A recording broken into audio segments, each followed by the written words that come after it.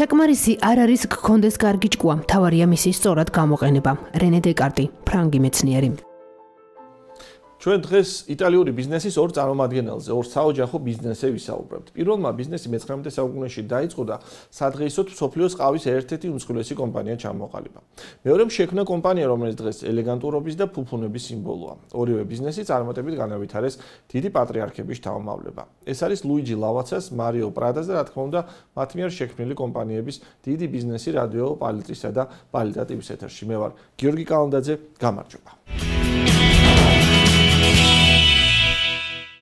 როდესაც მის გვარს ისმენ, თვალწინ წარმოგიდგებათ არომატული და გემრიელი ყავა. ერთი ცნობილი ფრაზა რომ გადავაკეთოთ, ვამბობთ ყავას, გულისხმობთ ლავაცას და პირიქით.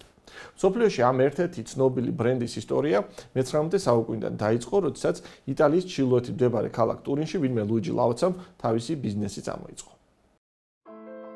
ლუიჯი ლავაცა 1859 წელს ტურინის მახლობლად მდებარე ქალაქ მურისენგოში დაიბადა. მისი ბიოგრაფიული ცნობები საკმაოდ მწირია. ცნობილია მხოლოდ ის, რომ ლუიჯიმ განათლება მიიღო კომერციის საღამო სკოლაში და თავი რომ გაეტანა სხვადასხვა საწარმოებსა თუ ფერმებში დამხმარე მუშად მუშაობდა.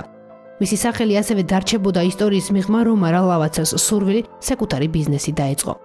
25 წლის ასაკში ლუიჯი ლავაცა ფაქტობრივად სრულიად უფულოდ ჩავიდა ტურინში. იტალიის ჩრდილოეთით მდებარე ეს ქალაქი, რომელიც რამდენიმე წლის მანძილზე იტალიის დედაქალაქიც კი იყო, 19 საუკუნის ბოლოს ქვეყნის ერთ-ერთ ინდუსტრიულ ცენტრს წარმოადგენდა. სწორედ ამ ქალაქში ლუიჯი ლავაცამ ბიზნესშულთან ერთად მცირე ზომის მაღაზია შეისყიდა და ბიზნესი დაიწყო.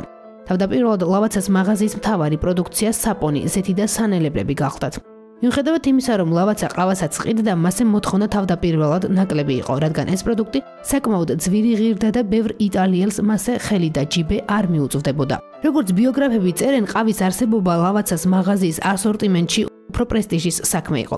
ლუიჯი თავად არჩევდა ყავის მარცვლებს და მის მოხალვის პროცესს უშუალოდ ესწრებოდა. ლუიჯი ლავაცას ბიზნესი თანათანობით კარგად წაუვიდა. მიღებულმა მოგებამ მას საშუალება მისცა ყავაზე ექსპერიმენტები ჩაეტარებინა. აუცილებელი იყო ისეთი პროდუქტის შექმნა, რომელიც კონკურენტებს უკან ჩამოიტოვებდა. მალე ლუიჯის გენიალური იდეა ეწვია. იმდროინდელ ევროპასა და მათ შორის იტალიაში აქცენტი ყავის მონოჯიშების რეალიზაციაზე კეთდებოდა. ლუიჯის კი აზრად მოვიდა, არსებული ტრადიცია დაერღვია და მომხმარებლისთვის სხვადასხვა ყავის ნარევი შეეთავაზებინა. ყავის ისტორია შუა საუკუნეებიდან იწყება. მის სამშობლოდ ეთიოპიაა მიჩნეული. ლეგენდის თანახმად ერთმა ეთიოპელმა მწყემს მას შეამჩნია, რომ ყოველთვის, როდესაც მისი თხები ერთ პატარა ბუჩქის ფოთლებს და ნაყოფს შეჭამდნენ, თავს უფრო მხნედ გრძნობდნენ. მწყემსმა თვითონაც გაუსინჯა ნაყოფს გემო, რომელიც უსიამოვნო იყო, მაგრამ ენერგიას კი მატებდა. ასეა თუ ისე მე-16 საუკუნეში ყავს არა მხოლოდ ეთიოპიაში, არამედ მახლობელ არაბეთის ქვეყნებშიც იყენებდნენ. იქიდან კი ევროპაში გახკონდათ. ევროპის კონტინენტზე ყავა პირველად პირინეის ნახევარკუნძულზე გავრცელდა, სადაც ყველაზე დიდი იყო არაბული გავლენა. კონტინენტის ჩრდილოეთით ყავა მე-16 საუკუნის ბოლოს გავრცელდა. აღნიშნული მცენარეებიდან არომატული სასმელის გავრცელებას ბიძგი რომის პაპის კლიმენტ მერვის გადაწყვეტილება მისცა. მას იმდენად მოეწონა მომწარო გემოს მატონიზირებელი სასმელი, რომ ის აკურთხა კიდეც. 1646 წელს ვენეციაში პირველი ყავის სახლი გაიხსნა. 1637 წელს მას ოქსფორდმა და 1652 წელს ლონდონმა მიბაძა. თუმცა დიდი ხნის განმავლობაში ყავის მის ტრადიცია უშუალოდ მამაკაცთა კლუბების პრეროგატივას წარმოადგენდა. ამით უკმაყოფილო ინგლისელმა ქალბატონებმა 1674 წელს მოამზადეს სპეციალური პეტიცია ყავის წინააღმდეგ. ისინი წერდნენ, რომ ყავის მოხმარებამ მათი მამაკაცები ნამდვილ საჭურისებად აქცია. როგორც მოსალოდნელი იყო ამ პეტიციას მალე მეორეც მოხვა. ამჯერად ყავის და არა მარტო ყავის ღირსება ინგლისელმა მამაკაცებმაც დაიცვეს. 1660 წელს აღნიშნული ბიზნესი საფრანგეთშიც გავსელდა. როგორც ამობენ, დაახლოებით ამავე პერიოდიდან ოსმალეთის იმპერიის ელჩი საფრანგეთში ადგილობრივი არისტოკრატიის წარმომადგენლებს ყავის დასალებად ეპატიჟებოდა. სტუმრებს ემსახურებოდნენ შავკანიანი მსახურები, რომლებიც არიგებდნენ მცირე ზომის ფინჯანებში ჩამოსხმულ მუქი ფერის ცხელსასმელს. როგორც მოსალოდნელი იყო, მალე ყავის მის ტრადიციამ ვერსალშიც გადაინაცვლა. ლუდოვიკო მე-14-ის კარზე ამ სასმელს დიდი გასაქანი მიეცა. ისაც მიღებული იყო არისტოკრატიულ წრეებში გავსელდა საზოგადოების სხვა ფენებშიც. საფრანგეთის ტერიტორიაზე მალე ასობით ყავის სახლი გაიხსნა. შედარებით გვიან შეაღწია ყავამ გერმანიაში, სადაც ინგლისელმა ვაჭრებმა პირველი ყავის სახლი მხოლოდ 1670-იან წლებში გახსნეს. პირველი ქალაქი, სადაც ყავის სახლმა სტუმრებს კარი გაუღო, ჰამბურგი გახლდათ. ლუიჯი ლავაცა ყავის მოხალვის პროცესით რომ არ დაინტერესებულიყო, საუბრობდა დარჩებოდა კიდეც მრავალთაგან ერთ-ერთ მოვაჭრეთ, რომელიც ძალიან ბევრი იყო ტურინში. თუმცა ლუიჯის დაინტერესებამ ყავის ჯიშების კუპაჟირები თავისი შედეგი მალე გამოიღო. 1910 წელს მსოფლიო მიხილა პირველი ყავის ბრენდი ლავაცა. ყავა ლავაცას ბიზნესის მთავარი პროდუქტი გახდა. მალე ლუიჯიმ ყავის მოსახალი მანქანა შეიძინა და საკუთარი ბიზნესის გაფართოება გადაწყვიტა.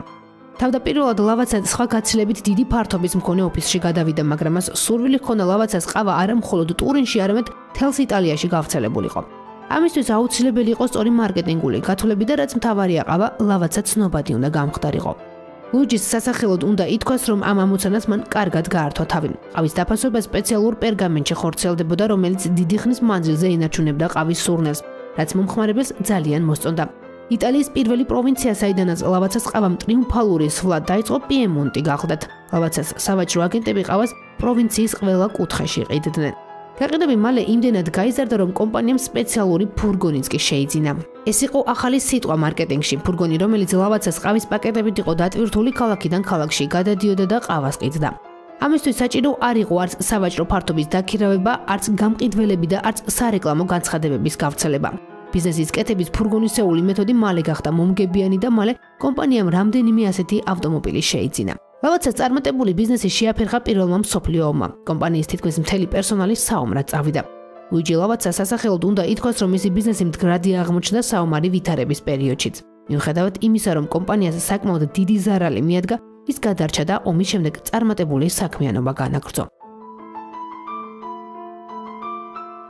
ომებს შორის არსებული პერიოდი წარმატებული აღმოჩნდა ლავაცას ყავის კომპანიისთვის, თუმცა მალე იტალიის სათავეში მოვიდა ბენიტო მუსოლინი, რომელმაც ქვეყანაში ყავის იმპორტი აკრძალა. ლავაცას ბიზნესი დახურვის ზღვარზე დადგა. კომპანიამ ძირითადი რესურსები სხვა პროდუქციის გაყიდვებზე გადაიტანა, რაც შეეხება ყავას, ამ პროდუქციას კომპანიამ მხოლოდ 1956 წელს დაუბრუნდა. ყავის ბაზარზე დაბრუნება ტრიუმფალური აღმოჩნდა. მხოლოდ 1946 წელს ლავაცას საწარმოებში მოიხალა 124 ტონა ყავა. ეს მაჩვენებელი 1947 წელს 407 ტონამდე გაიზარდა. გარდა ამისა, სწორედ 1946 წლიდან არსებობს ლავაცას ცნობილი ლოგოტიპი, რომელთაც მეორე მსოფლიო ომის დასრულების შემდეგ კომპანიის მიერ გამოშვებული ყავა იყიდებოდა. ახალმა ლოგოტიპმა ყავა ცნობადი გახადა არა მხოლოდ იტალიაში, არამედ მეზობელ ქვეყნებშიც.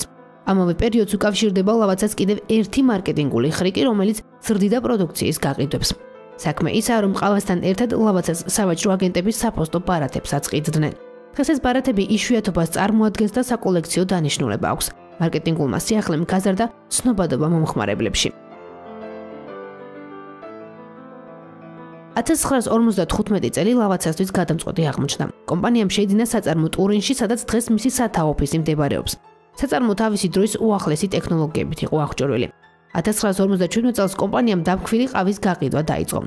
თავდაპირველად მომხმარებელმა ეს სიახლე უნდობლად მიიღო, მაგრამ ამ საკითხისადმი მათი დამოკიდებულება შეცვალა ლავაცას სლოგანმა: დაფქვილი, ჩვენ თქვენ დროს ვაფასებთ.